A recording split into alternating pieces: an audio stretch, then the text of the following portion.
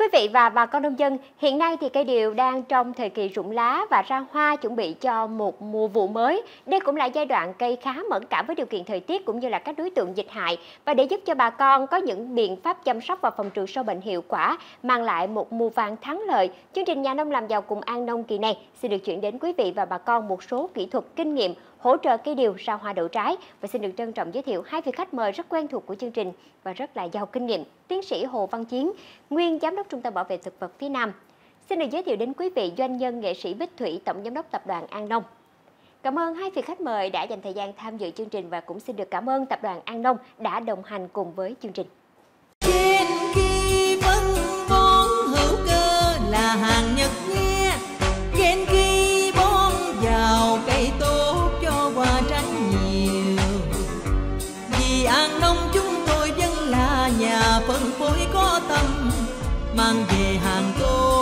loài Nhật, phân vâng, gà ghen kia.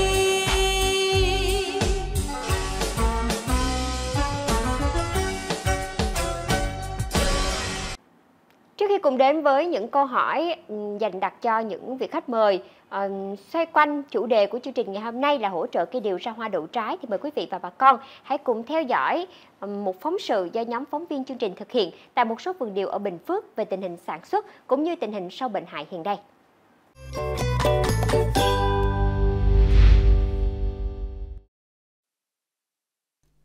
Gắn bó với cây điều đã nhiều năm, nên ông Nguyễn Văn Vinh phần nào hiểu được quá trình sinh trưởng, phát triển cũng như cách thức chăm sóc, phòng bệnh cho cây theo từng giai đoạn.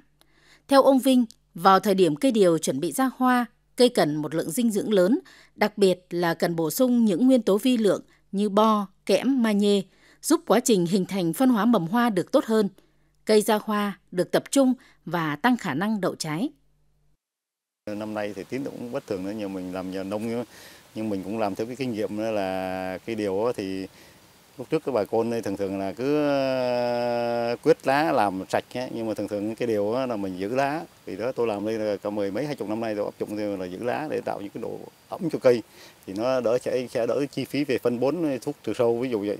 Thì kinh nghiệm là tôi làm thì chủ yếu tôi làm áp dụng theo ví dụ như tạo cái đất đầu xốp cho cái, cái điều nó giữ độ ẩm khi mưa xuống không bị hơi đất nó bốc lên thì cái điều nó không bị mất mùa thường xuyên mình cũng được ví dụ như nếu như người, người ta mất mùa thì mình vẫn được nhân dân được dù người ta mất trắng nhưng mình vẫn được 50 50 vậy Cũng theo ông Vinh, ở giai đoạn này cây điều hay bị một số sâu bệnh hại phổ biến như bọ đầu dài, bọ vòi voi, bọ xít mũi, bệnh thán thư làm cho các chồi non bị héo khô, giảm khả năng ra hoa đậu trái.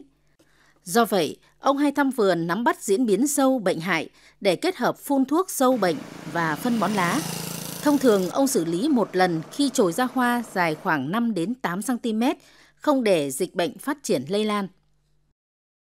Cái tâm lý bà con thì mùa này thời tiết mát ấy, thì không nên trị nhiều thuốc, mình chỉ căn nó thời kỳ lúc nào mà nhiệt độ nó thay đổi mùa thời tiết ví dụ như qua từ cái thời kỳ mùa mùa bầu mùa đông này qua cái gì nó nắng lên thì mình xịt thuốc để mình à, trị mấy bệnh bộ úi là bộ chín mũi thôi.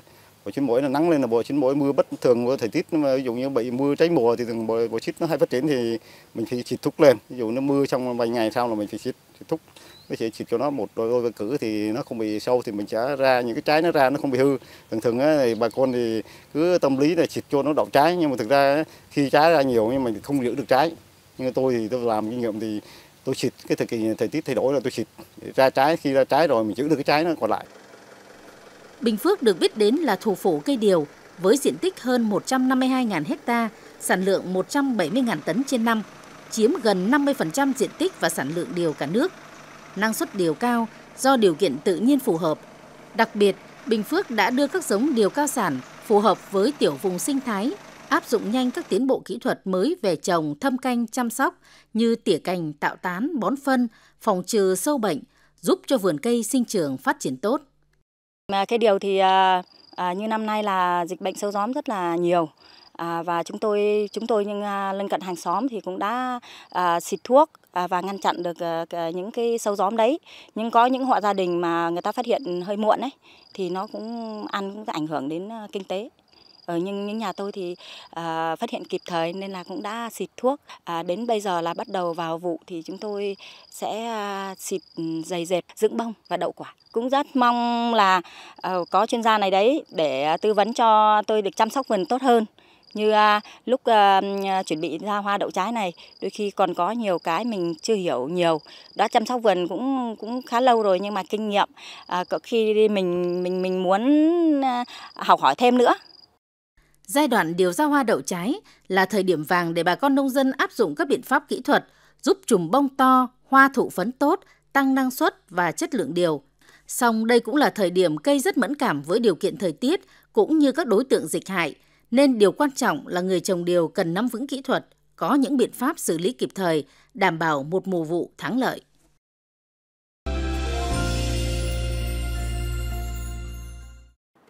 Vâng thưa quý vị, Hiện nay thì tùy theo khả năng tài chính, đặc điểm của từng vườn điều và thói quen kinh nghiệm canh tác mà mỗi hộ nông dân sẽ có những cái biện pháp chăm sóc khác nhau. Tuy nhiên có một thực tế là vài năm trở lại đây do giá điều xuống thấp nên là người trồng điều cũng hạn chế áp dụng những cái biện pháp kỹ thuật để mà chăm sóc cây điều, nhất là trong giai đoạn quan trọng hiện nay.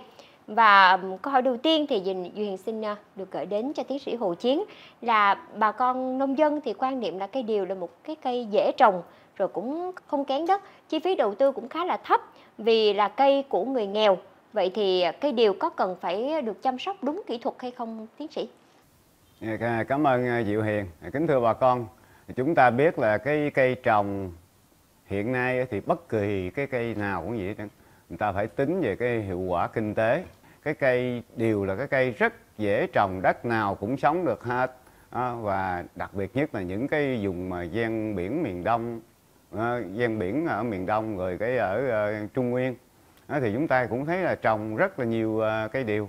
Ừ, nhưng mà vấn đề là hiện nay chúng ta trồng cái cây gì thì nhà nông được gọi là nhà nông thì phải chúng ta phải tính cái hiệu quả kinh tế. Không phải là tính cái hiệu quả kinh tế ở trên cái mảnh vườn không, mà chúng ta phải tính hiệu quả trên một mét vuông nữa bà con. Ví dụ như một mét vuông của đất thì chúng ta lợi nhuận bao nhiêu? Và như vậy trong một cái thời gian cố định cỡ nào đó là chúng ta sẽ so sánh giữa cái kinh tế kinh tác cây, cây, cây điều và những cái, cái cây khác để chúng ta biết là có hiệu quả kinh tế như thế nào. Và như vậy thì chúng ta phần cần phải có những cái cái cách khai thác để mà đạt cho hiệu quả. Thì từ cái đất trồng này chúng ta phải biết cái hỗ trợ như thế nào để cho cái đất trồng nó được uh, tốt. Và chúng ta là tái ờ, canh rồi là mở rộng cái dòng ờ, cái cái dùng trồng điều để chúng ta có cái ờ, điều đứng vững được ở trên thế giới. Dạ xin cảm ơn bà con. Trong cái giai đoạn hiện nay thì cái điều chuẩn bị ra hoa thì bà con nông dân cần phải thực hiện những cái biện pháp kỹ thuật nào để mà cây điều phát triển ạ? Dạ như chúng ta biết cái cây điều đó bà con thì nó là thuộc cái cái họ sòi. Thành ra cái hoa của nó là nó ra ngay chân cái cái cái tược qua. Đấy. thành ra cái vấn đề là cây xoài chúng ta cũng vậy. Chúng ta khi mà chúng ta càng tỉa cành tạo tán thì nó ra nhiều chồi. Thì cây điều cũng như thế tức là chúng ta phải tạo tán rồi tỉa cho cành cho nhiều. À, thì cây nhiều cành nhiều à, tán thì như thế là chúng ta sẽ đạt được cái năng suất cao. Đặc biệt nhất là những cái cành mà nó nằm ngoài sáng á, thì cái tỷ lệ thuận của nó nó theo cái năng suất theo ờ, tỷ lệ thuận nó càng ngoài sáng thì cái năng suất nó càng trúng còn những cái cây cái ờ, cây điều mà nó nằm ở trong bóng tối rập rạp đó bà con thì sâu bệnh nó càng nhiều đó. còn cái nữa là bây giờ bắt đầu ờ, mình gọi là bón phân cho điều đó, thì chúng ta nên coi lại cái cơi tược tức là phải cái cái đọt phải cho nó mập và có ít nhất là khoảng từ cho từ 2 cho tới 3 cây đọt à, thì chúng ta bón phân thì ở đây chúng ta chú ý nhất là cái phân lân. Tại vì chúng ta tạo cái mầm qua thì bón cái phân lân cho nó cao lên. Để ờ, sau này chúng ta sẽ có cây cây qua cho nó nhiều. Và cái ờ, vấn đề là thụ phấn qua tốt. À, như vậy chúng ta thấy là sẽ có nhiều cái trái hơn.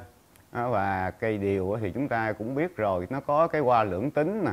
À, rồi cái hoa cái nè rồi cái hoa nữa hoa đực nữa. Thành ra nó có ba cái loại hoa. Do vậy mà chúng ta thấy trong cái điều kiện mà thời tiết nó bất phù hợp á, thì ba cái loại hoa này là cái cái hoa nó gọi là hoa lưỡng tính nó lại ít. Như vậy là chúng ta thấy là năng suất nó không cao. À, chúng ta phải dựa vào cái thời tiết làm sao để chúng ta để cái hoa điều á, thì nó có cái hoa lượng tính cho nó cao và như vậy là chúng ta thấy là cái à, năng suất nó sẽ cao hơn. Ừ, còn cái, cái vấn đề à, gặp mưa bão đó bà con ở trong điều kiện mà mưa bão á, thì cây điều nó cũng dễ bị sốc tức là nó làm cho cái nước nhiều và cái hoa nó rụng nhiều. Cái ẩm độ không khí nó cũng cao thì nhiều cái loại à, sâu bệnh nó sẽ tấn công. Và như thế là chúng ta thấy là cái mưa mà kéo dài thì chúng ta nên phun một cái loại thuốc trị bệnh. Và thậm chí là có côn trùng chúng ta cũng phun luôn để cho nó đạt được cái năng suất à, cao và xin cảm ơn bà con Dạ, cảm ơn những chia sẻ của tiến sĩ Hồ Chiến. Và dinh dưỡng cho cây điều ở giai đoạn này cũng rất là quan trọng bởi vì sẽ giúp ờ, cây ra hoa, đậu trái nhiều hơn, rồi tăng sức đề kháng khỏe hơn. Vậy thì ở thời điểm này thì bà con nông dân cần phải bón những cái phân bón gì ờ, cho cây để cây có thể phát triển tốt hả chị Bích Thủy? À, theo như Bích Thủy thấy thì là NPK vẫn là cái quan trọng nhất và chúng ta bón phân nó cũng có cái kỹ thuật của bón phân ha. Có thể bón vào trong gốc ha. Rồi có thể là hòa nước để để tưới. Thì giai đoạn mà điều kinh doanh là giai đoạn quan trọng mà chúng ta phải tăng cường cái cái việc bón phân cho thật là tốt. Thì à, bón phân cho mỗi cây trong một năm thì chúng ta thấy một ký N 0,5 B B2O5 và 0,5 K2O À, nếu mà chúng ta dùng phân bón chuyên dùng cho cây điều tức là NPK 16 8 16 á thì à, lượng dùng của nó khoảng chừng 5 đến 6 kg cho một cây trong một năm. Và chúng ta cũng chia ra làm 3 lần đoán. Lần thứ nhất thì 50% lượng phân này ha. Có nghĩa là từ 30 20 à, đến 30 ngày khoảng khoảng chừng tháng á, sau khi thu hoạch của đợt trước. Rồi lần thứ hai á, là sau giữa, giữa mùa mưa vào khoảng khoảng tháng 7 á, thì chúng ta bón à, 1 phần tư nữa ha. Rồi đợt cuối cùng của mùa mưa là khoảng tháng 9 á, thì chúng ta bón 1 phần tư nữa. Và chúng ta thấy rằng là lượng phân bón chia ra làm 3 lần. Lần thứ nhất là 50% hai lần sau mỗi lần 1,5% vào tháng 7 và tháng 9 cho dễ nhớ. Nhưng nếu bà con không nhớ thì chúng ta sẽ à, tua lại để nghe hoặc là lên Facebook Bích Thủy Bích Thủy lưu lại cái chương trình này phát và lúc nào cũng lưu lại và cũng cũng luôn luôn có những cái phần mà hướng dẫn cụ thể bằng chữ viết ở phía dưới để bà con chúng ta có thể là à, coi rõ hơn nha. Chứ chúng ta mà chỉ cần nhớ sai chút xíu thôi ban đầu 50% nhớ lộn 2,5% rồi như vậy là 25% tất nhiên là nó đã sai và sai cái đó ảnh hưởng nhiều nha bà con. Rồi Bích Thủy nói kỹ thuật bón là như thế nào? Đối với cái cây thì chúng ta cây cây mà cây lớn như cái điều lớn như vậy chúng ta không phải là đem cái phân rải đại xuống dưới cái, cái gốc không phải. Mà chúng ta phải đào thành một cái vành khăn cách gốc khoảng chừng 30 20 đến 30 cm và chúng ta đào sâu.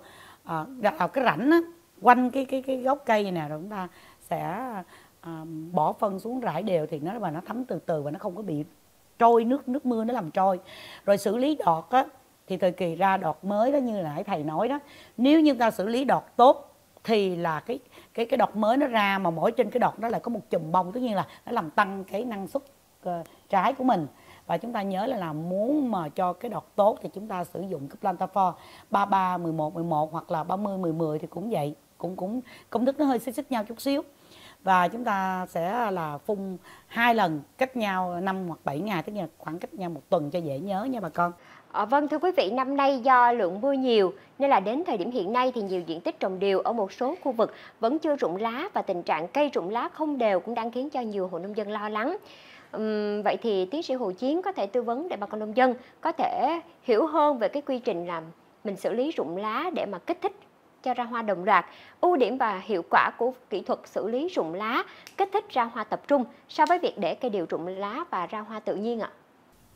Yeah, thì à, bà con chúng ta biết á, khi mà quan sát thấy cây à, điều mà nó rụng lá bắt đầu nó rụng lá nó từ 20 20 phần trăm thì chúng ta thấy là cái điều nó sẽ hình thành cái à, cái nụ hoa cái nụ hoa thì à, mình muốn thành à, hình thành cái nụ hoa cho nó tốt các bà con, thì phải có cái kích thích, thì hầu hết các cái à, cái cái điều kiện mà kích thích để cho cái điều nó rụng lá đó thì chúng ta dùng cái bắc lo butrazone để xử lý. Tức là mình mà dùng cái bắc lo butrazone này chi để ức chế cái ribberellin chồi ngọn.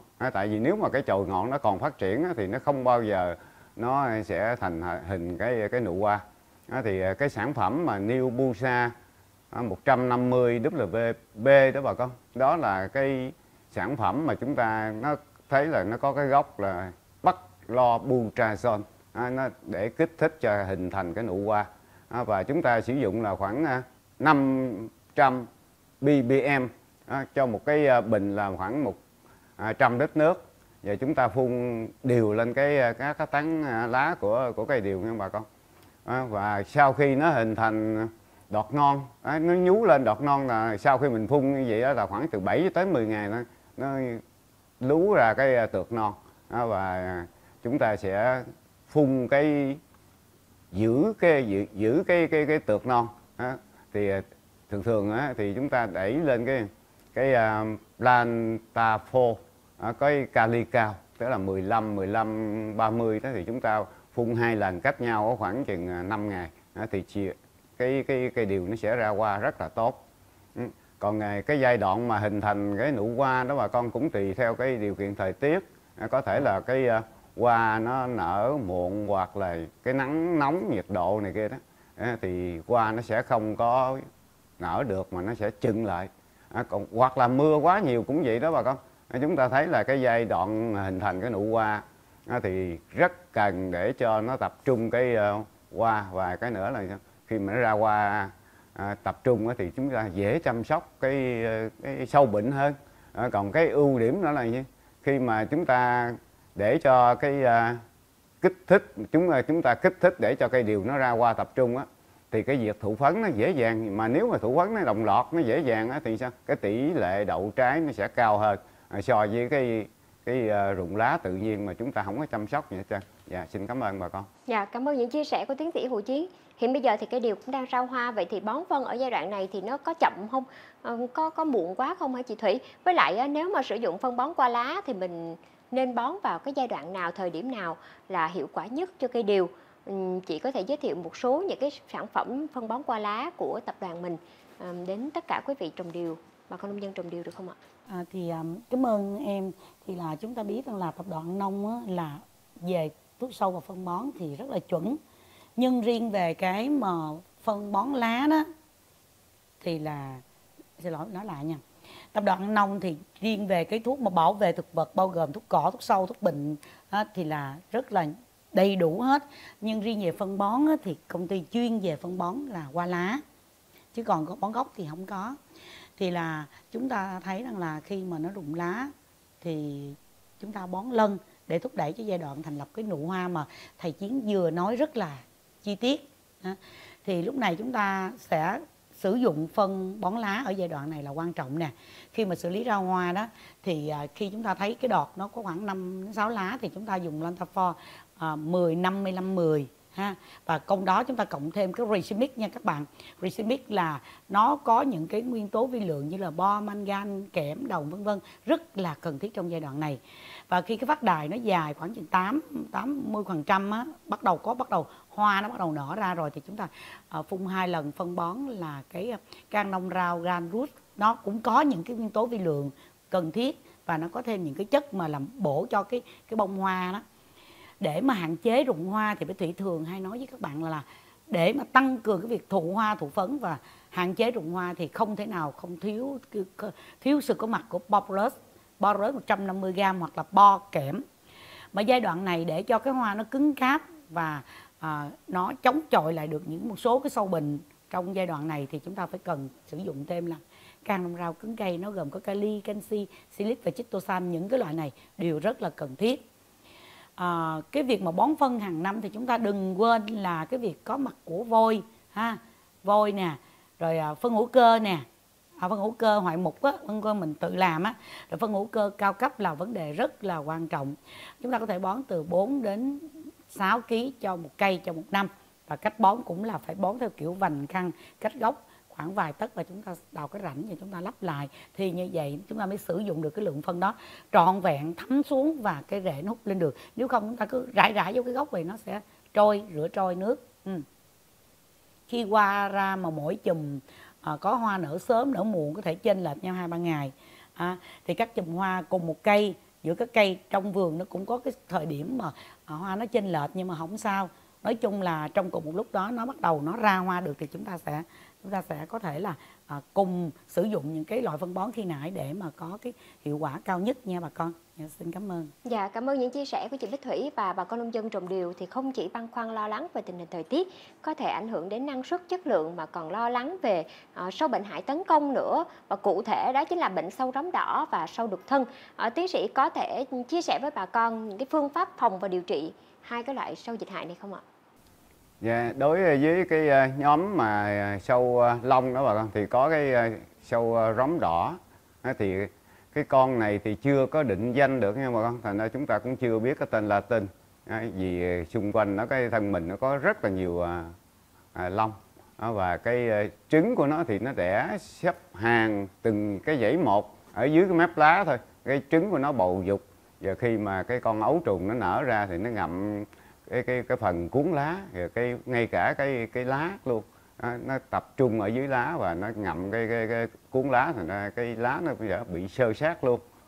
Khi mà mật số cao đó bà con thì chúng ta thấy là cái nó trở thành cái dịch hại rất là nhanh. Và khi mật số cao thì cái con sâu nó sẽ ăn trơ hết cái cái cái cái, cái lá và cái cành luôn ngay cả cái cái cành cái cây. Và nó làm cho cái năng suất sẽ thấp còn à, đối với cái con sâu à, đục thân á, thì chúng ta sẽ thường thường xuyên chúng ta đi coi ở trên các cái thân cây. Á, thì à, ở từ một mét cho tới mét rưỡi thôi bạn. Á, thì nó sẽ đục ra những cái lỗ và nó đùng ra cái cái phân của nó. Thành ra chúng ta khi mà thấy là có cái hiện tượng đục hoặc là đùng phân như thế rồi chúng ta dùng cái thuốc để mà chúng ta nhét vô những cái loại thuốc mà nó có cái xông hơi tốt đó á, thì à, nó sẽ à, hết sẽ nhanh hơn dạ xin cảm ơn bà con Dạ. À, Diệu Hiền nhớ là tập đoàn An Nông của mình có cái sản phẩm để mà phòng trị cái loại ờ, ờ, sâu róm đỏ rồi sâu đục thân trên cây điều ấy, nhưng mà quên mất cái tên sản phẩm đó là gì rồi chị Thủy. Bây giờ chị Thủy nhắc lại cho Diệu Hiền cũng như tất cả bà con cùng nhớ nha. nói chung thì à, hai cái con sâu này chúng ta cũng chỉ sử dụng cùng một cái loại thuốc thôi bởi thủy nghĩ là hiện nay nếu như mà chúng ta theo dõi tốt á, ở cái giai đoạn nhỏ đó thì chúng ta có thể sử dụng cúc tổng hợp cũng được. Cúc tổng hợp là một trong những cái loại mà sử dụng để xử lý các loại sâu thông thường nhưng mà với thiệt cũng có một cái lưu ý như thế này. Cúc tổng hợp nó có nhiều gốc đó ví dụ như bốn cái gốc tiêu biểu là sibetmetrin nè permetrin nè alpha sibetmetrin và delta metrin nhưng mà cái giá giá tiền của từng loại nó khác nhau. Do đó khi mà chúng ta mua mà mắc nhất là delta metrin đó là công ty có cái tên là toxic á, thì nó nó mạnh hơn ha. Còn không cái loại thông thường thì chúng ta thường hay dùng là sibepmetrin tức là cái sẹt tóc của tập đoàn nông đó. Nhưng mà hiện nay thì cái những cái loại thuốc đó cũng mình cũng ít dùng mà công ty thường hướng dẫn những cái loại thuốc mà nó không bị kháng thuốc gì là loại những cái loại thuốc mới là cái gốc là bitsen ha. chúng ta thấy là bitsen là một cái loại uh, thuốc mà gồm hai hoạt chất mà xử lý rất là tốt à, và chúng ta thấy rằng là chúng ta phun đồng loạt ha phun chân trên cái diện rộng để làm gì? Để tiêu diệt nhằm tiêu diệt hết. Chỉ cần một cái mầm móng còn lại thì nó sẽ xanh sôi nảy nở. Nên là khi mà phun thuốc sâu chúng ta cũng đừng có giải ngư là phun đại phun đùa. Nhưng chỗ nào có sâu rồi phun không có phải phun đều hết. Và nãy thầy có nói là đối với con sâu đục thân á, mà nó đùn cái mật cưa ra tức là nó có những cái lỗ rồi đó thì cái đó thì chúng ta phải chịu khó chút xíu. Phải phun vô trong cái lỗ đó luôn đó nó nằm ở trong đó đó mà đến chừng mà nó vô được ở trong đó vậy thì nói chung là cái cái cái cái tác dụng của thuốc nó cũng bị hạn chế rồi nên chúng ta phải theo dõi từ sớm nha bà con Dạ. Và những năm vừa qua thì à, ngay chính cái giai đoạn mà cái điều ra hoa đậu trái thì bà con nông dân gặp phải những cái tình trạng là à, cây mắc những cái bệnh vàng lá, cháy lá, khô đọt, khô cành. À, Năm nay nhiều bà con trong vườn điều của họ cũng gặp phải cái tình huống này. Vậy thì nguyên nhân tại sao lại xảy ra cái bệnh này vậy tiến sĩ Hồ Chiến?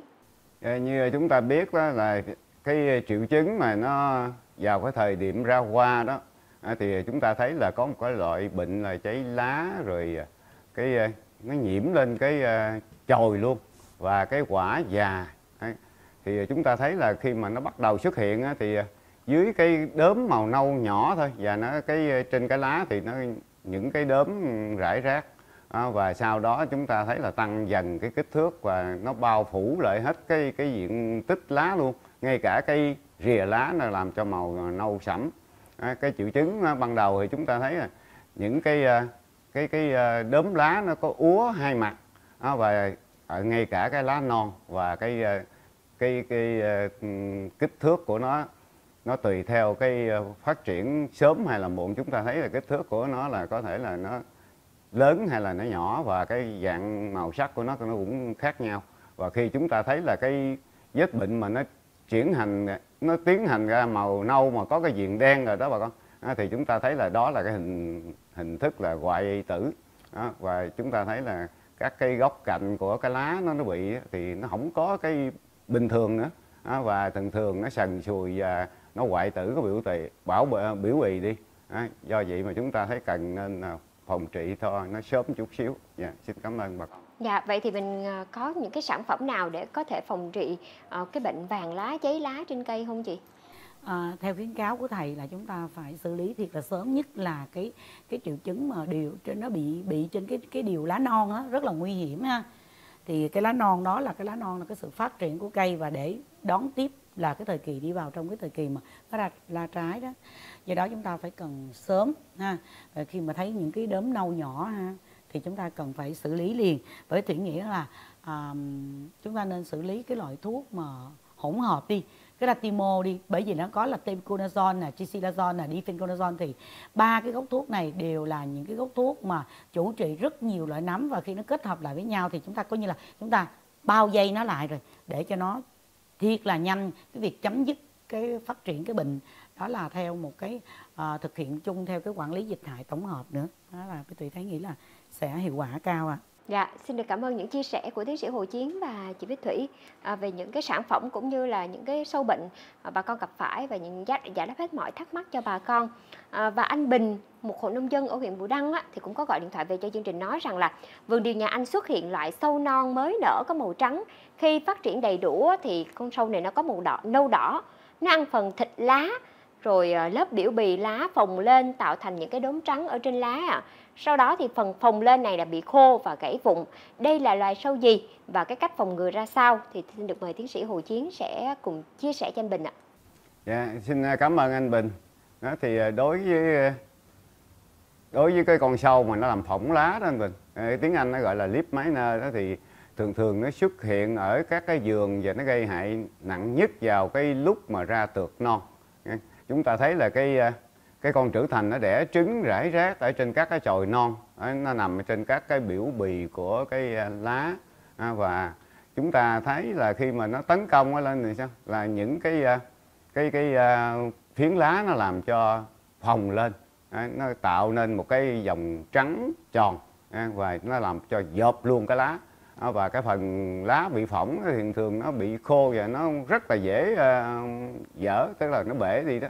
Ờ, thì khi mà cái con sâu nó mới nở thì có màu trắng đục. Và khi mà nó nở khoảng tuổi 2, tuổi 3 thì nó có màu nâu đỏ. Thành ra mình thấy nhìn vô là biết cái nó là cái con sâu làm phỏng phỏng lá rồi. Cái, cái con ấu trùng của nó là nó đục ở dưới phần biểu bì lá nha. Dạ, và chúng ta thấy là có những cái lá nó giống như là bị sâu dẻ bùa nó gọi là cái ăn ăn vào trong cái lá cái những cái vết hoàng ngoèo hoàng ngoèo giống như cái à, sâu dẻ bùa ở trên à, cây, cây có muối vậy bà con. Ừm, bây giờ chị Thủy có thể giúp anh Bình ừm, giải quyết những cái, cái cái sự đau đầu của mình khi mà gặp phải cái con ờ, sâu non ờ, có màu trắng ở trên cây điều không chị? chị cũng đau đầu lắm. Bởi vì sao? Quá nhiều loại sâu bệnh trên cây trồng. Rất là khó để có thể nói rằng là thuốc nào trị sâu nào, thuốc nào trị sâu nào. Theo, nhưng mà theo cái thủy nghĩ rằng là là các biện pháp ờ, quản lý tổng hợp chung của các loại ờ, sâu bệnh đó là chúng ta sẽ sử dụng thuốc hóa học. Và thuốc hóa học thì nó có làm một cái mà nó hơi bị hạn chế, đó là nếu chúng ta sử dụng cái giai đoạn sau mang trái thì không có được á. Nên rất may là cái này nó xảy ra ở giai đoạn mới có tược non thôi. Nên chúng ta xử lý cũng rất là đơn giản. Chúng ta có thể sử dụng như nãy chị nói là à, cái à, gốc cuốn tổng hợp đó hoặc là cái à, Bixen hoặc là cái KT ăn nông hay hạt mi tóc thì có rất nhiều loại thì tùy bà con mình lựa chọn và cũng tùy theo áp lực của sâu bệnh để sử dụng cái loại thuốc nào mà nó vừa phải à, để bà con khỏi phải bị tốn tiền nhiều mà vẫn đạt được hiệu quả cao ạ. Dạ, Ờ, cảm ơn chia sẻ của chị Bích Thủy. À, Và có một cái vấn đề là mỗi khi mà Diệu Hiền đi vào một số những cái vườn điều, á, nhất là vào buổi sáng sớm với lại chiều mát á, thì thấy có một số những cái con bọ xít mũi nó chút nó chích hút vào những cái mô non của cây ờ, như là lá nè, chồi non nè, hoa quả nè và hạt làm cho những cái bộ phận này nó bị héo khô rồi bị rụng, ảnh hưởng nghiêm trọng đến năng suất cũng như là chất lượng của cây. À, vậy thì bà con nông dân phải phòng ngừa bằng cách nào hả tiến sĩ Hồ Chí? Ờ, à, chúng ta biết cái con à, bọ xích à, mũi đó bà con thì nó tấn công ở trên cây điều cũng rất là dữ. Ờ, ngay cả cái con à, ấu trùng rồi cái con trưởng thành nó chích hút cái à, chồi non rồi cái lá non rồi cái hoa ngay cả cái trái luôn. À, khi mà nó chích hút thì nó tiết ra cái bọt nó làm cho cái con nấm bệnh gọi là bồ hóc đó, nó tấn công. Và chúng ta thấy là khi mà nó tấn công nhiều đó là cái cái cái chồi nó bị ờ, chết và chuyển sang cái chồi là gọi là màu khô luôn đen luôn và nó rụng lá à, rụng cái trái non luôn. À, khi ờ, nó chích thì thường thường đó, mình thấy là cái hầu hết cái con ờ, côn trùng mà nó chích thuốc đó mà thì nó để lại cái chất gọi là chất đường mật gì đó. Nó, nó làm cho nấm bùa hóng nó rất thích để mà nó tấn công và chúng ta thấy là cái con bụi, con bọ chích mũi thì nó hoạt động dễ dàng nhất là vào à, ban đêm và từ 6 giờ sáng cho tới 10 giờ hai cái giai đoạn đó à, thì à, chúng ta cần nên phòng trị cái con bọ chích mũi. Và chúng ta cũng nên chú ý rằng khi mà bị mưa đó là con bọ chích mũi nó chích rồi đó thì nó cũng có thể là nó do cái nấm bệnh Coletoricum nó tấn công thành ra bà con mình nên phòng trị con bọ chích mũi và luôn cái bệnh tháng thư luôn. Dạ, dạ. xin cảm ơn bà con. Nói về phòng trị thì bọ xít mũi này giờ mình trị sao đây chị thủy?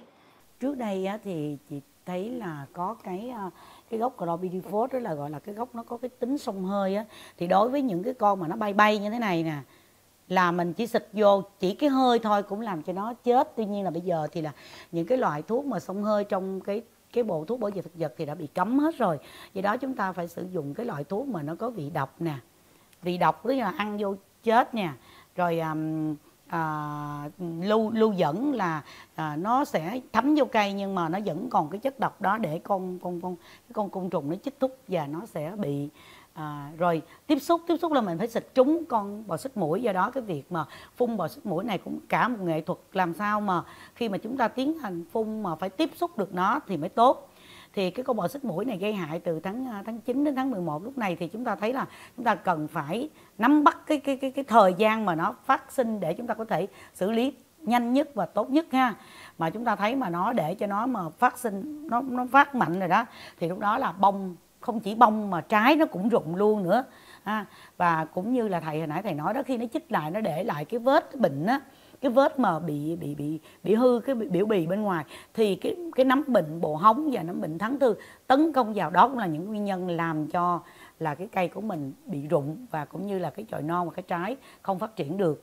À, thì à, đối với cái con um, bọ, bọ xích mũi này thì chúng ta thấy cũng có thiên địch đó thiên địch uh, à, bắt, bắt bắt mồi ăn sống đó thì nó cũng là một cái mà làm cho uh, con con uh, cái con bọ xích này nó sợ nè ha.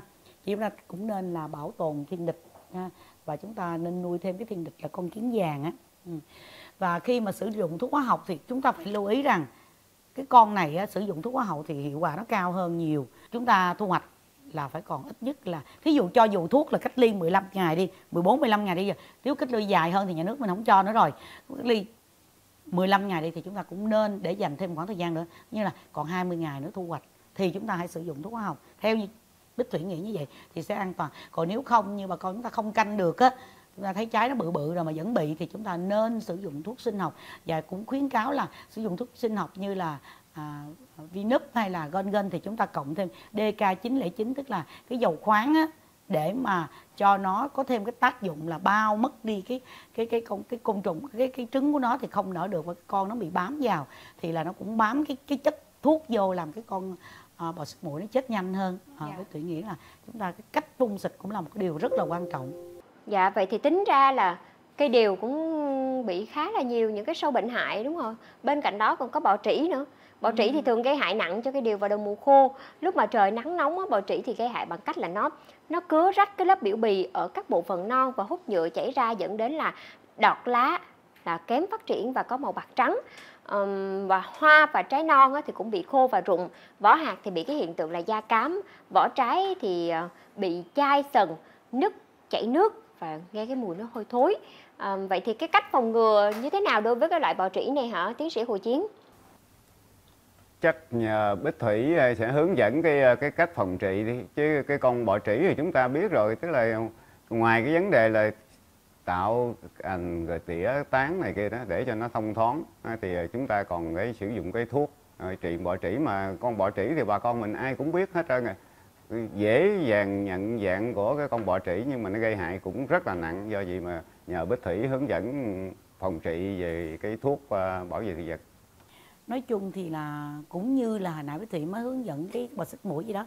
Nếu như chúng ta phát hiện sớm để tránh cái chuyện mà nó chích thuốc, nó để lại những cái vết thương ở bên ngoài, dễ dàng bị lây nhiễm một số cái bệnh khác, thì chúng ta cần phải tạo thành cành tỉa nhánh cho nó thông thoáng thì nó sẽ bớt được cái ảnh hưởng. Cũng như là cái cỏ dại cũng là nơi ký chủ của nó, do đó chúng ta phải cần sự cỏ dại. Và thuốc trừ cỏ tập đoàn nông này ăn nông mệnh danh là vua cỏ vua cỏ chứ không phải vỏ cua nha. Vua cỏ bởi vì là tập đoàn nông chúng tôi có rất nhiều loại thuốc trừ cỏ. Thí dụ như là paraquat mất rồi thì chúng ta có đi quát thay thế thì cái loại này thì nó chỉ xịt là chết với cái không không không có chết tận gốc mà nó chỉ chết cái diệp lục tố thôi. Thì cái loại này thường người ta sử dụng trong những vườn cây lớn như thế này nè. Tại cái gốc cây nó màu nâu cỏ ở dưới chỉ cần xịt cái đó lên thì an toàn hơn. Còn nhưng nhưng muốn mà triệt để thì chúng ta phải cách gốc khoảng 2 mét nha thì lúc đó trong phía trong thì buộc lòng chúng ta phải làm một cái một cái động tác là xịt cái cái đi quá trước là cái cái à, cỏ trái đó. Rồi phía ngoài chúng ta muốn tận gốc thì chúng ta phải xịt là cái cái trái rụi. Trái rụi nó tức là glufosinate đó, nó thay thế cho cái à, glyphosate hồi lúc trước á.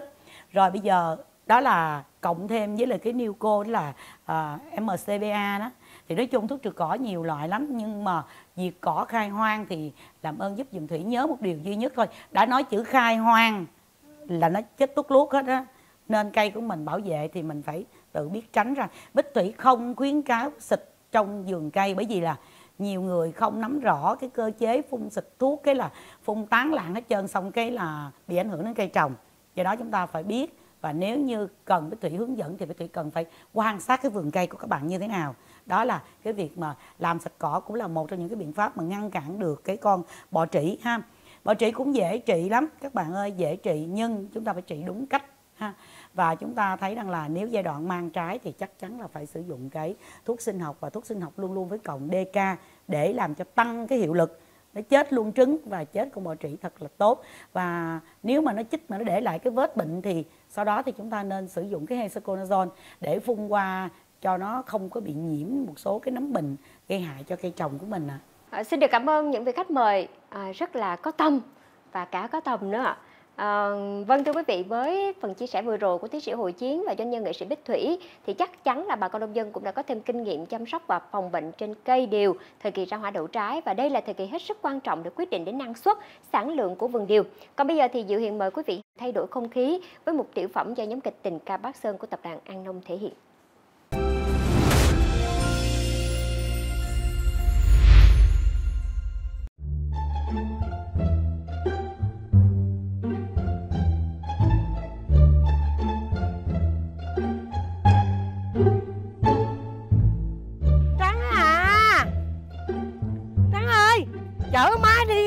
chở chút coi con. Má thấy không? Nó đang trộn thuốc kìa. Nó đang trộn thuốc gì mà cái vườn điều của nó rất là tốt má biết không? Cho nên là con trộn nó, nó, nó trộn xong nó đem mấy cái bầu nó giấu mất kia rồi. Đó bên ủa dạ chính. Có phải cô chính chứ gì đó? Chính ngồi đi. Làm gì trộn thuốc gì vậy? À không. Con uh, con uh, lo soạn mấy cái thuốc cho cái uh, cái vườn điều chuẩn bị ra hoa đó chính giờ chuẩn bị xử lý cho nó đậu trái cho nó tốt đúng không? Bà con mình á dạ. thường hay dùng bắt lo butrazone á để thích ra hoa. Nhưng mà chính nói con nghe nè không phải lúc muốn ra hoa là mình dùng thuốc để cho nó ra hoa mà mình phải chăm bón nó từ đầu. Con nhớ không? Dạ, chăm dạ. bón từ đầu là phân genki vô trong gốc của nó để à. cho cái rễ nó phát triển. Để à. phát triển rồi nó ăn được phân thiệt là phân phân phân bón gốc thiệt là nhiều ha.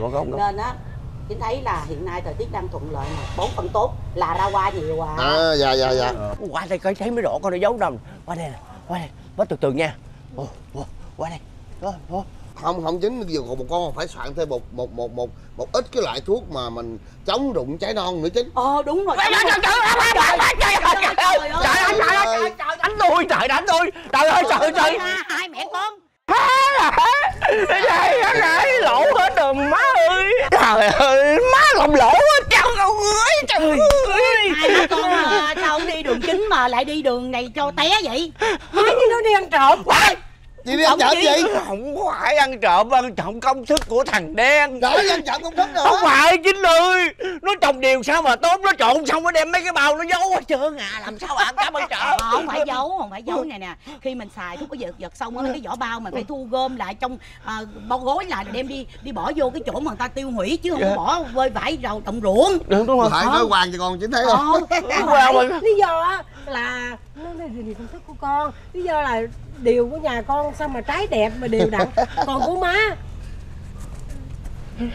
Nó héo heo nó bị nó bị Teo héo teo héo Trời ơi má ơi có gì thì cứ qua hỏi con chứ có gì đâu. Rồi tự nhiên giờ đứng đình đình bữa nào chó ra nó táp ra một cái. Nghe nè. Nghe cái chim mít. Ờ, chính đã nói rồi cái cây điều của mình á mà muốn nó khỏe thì chúng ta phải cải tạo đất ngay từ đầu. Chúng ta sử dụng cái phân bón Genki đó. Đúng rồi. Genki biết không? Con kia thì Ờ, con biết nè. Biết luôn hả? để, để con hát cho chính nghe. nhưng mà thằng này nó mà hát hát. cũng được. Chính hát cũng được. Má con hát cũng được. Nhưng mà trước khi hát á xong á, bá phải chở cô đi nhà thương à, cái vai con bị bị bị bị ê rồi đó. Không rồi bây bây giờ bây giờ cái bài này là ca sĩ Bích Phượng hát trên đài nhiều lắm. Dạ. bây giờ mình học thuộc rồi. Rồi. mình hát lại cho bà con nông dân nghe nha. Dạ, rồi, bắt đầu. Ok, ba. ba Genki phân bón hữu cơ là hàng nhật nha. Genki bón vào cây tốt cho hoa trái nhiều.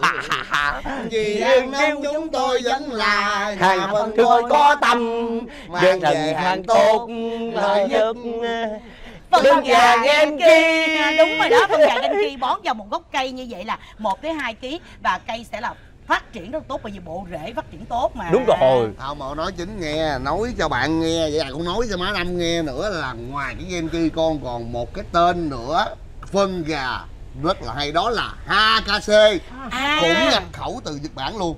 Nhưng mà cái này đặc biệt hơn nghe đặc biệt hơn là nó có cái độ pH là 8 nó xử lý được đất bị phèn chua độ pH dưới năm nó trung hòa pH luôn á má. Ờ, hay à, hay à, đâu đâu đâu đâu thử thử thử thử thử nói về sản phẩm coi. Hát luôn Hát trời luôn, ơi hát luôn. rồi làm đi làm luôn.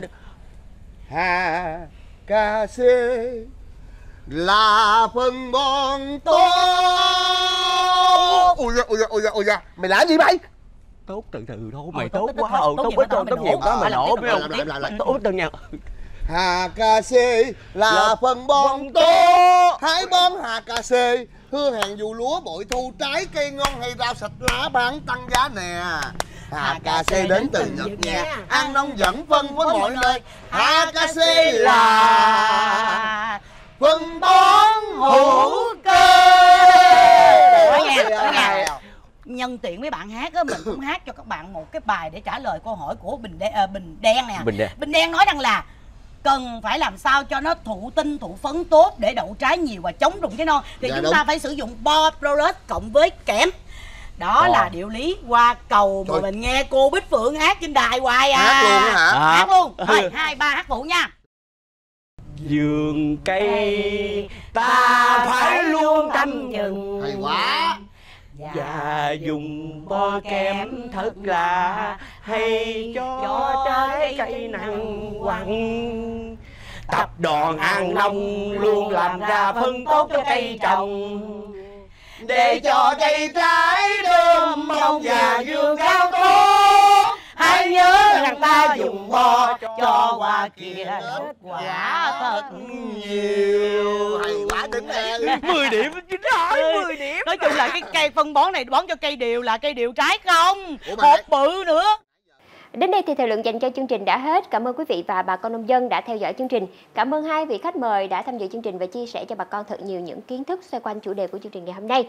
Và chúng tôi xin được chào tạm biệt và hẹn gặp lại quý vị vào chương trình tiếp theo.